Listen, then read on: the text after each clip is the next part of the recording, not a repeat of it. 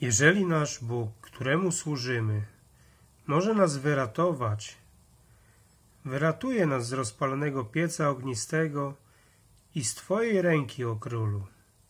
Księga Daniela 3:17 Król Nebukadnesar kazał zrobić wielki złoty posąg. Miał on sześćdziesiąt łokci wysokości i sześć łokci szerokości. Następnie król kazał zawiadomić satrapów, namiestników, zwierzchników, skarbników, sędziów, doradców, urzędników i wszystkich zarządców prowincji, że mają przybyć na uroczystość poświęcenia posągu. Nakazał też, aby na głos rogu wszyscy upadli i oddali posągowi cześć.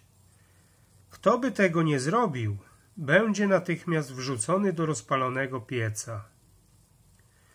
Znalazło się jednak trzech Żydów, Szadrach, Meszach i Abednego, którzy nie oddali pokłonu posągowi.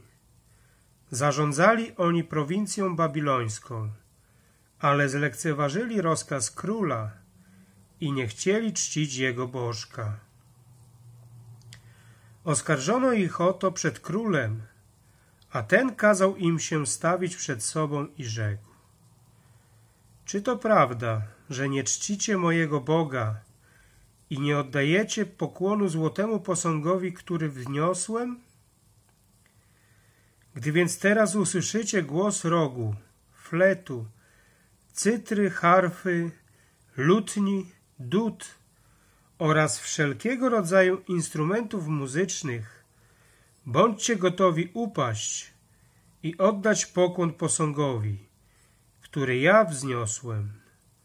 Bo jeżeli nie oddacie pokłonu, będziecie natychmiast wrzuceni do wnętrza rozpalonego pieca ognistego. A który Bóg wyrwie was z mojej ręki? Rozdział trzeci, wersety 14-15. Wzdumienie wprawia fakt, że wciąż jeszcze istnieją ludzie, którzy cześć należną Bogu oddają zrobionym przez siebie obrazom. Nie trzeba być mędrcem, aby wiedzieć, że taki obraz nic nikomu nie może pomóc.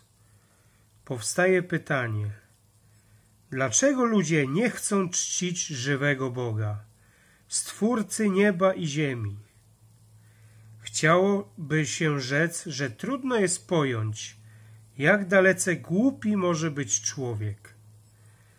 Ale to sprawka diabła, tego zwodziciela, i kto nie nawróci się do Boga, ten pozostanie w Jego mocy.